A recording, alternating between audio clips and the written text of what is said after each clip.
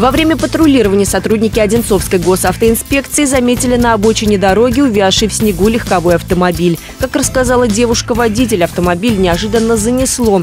Удержать его на дороге не удалось. Инспекторы с помощью троса вытянули машину из сугроба на дорогу. Автоледи поблагодарила сотрудников ДПС за помощь и продолжила путь.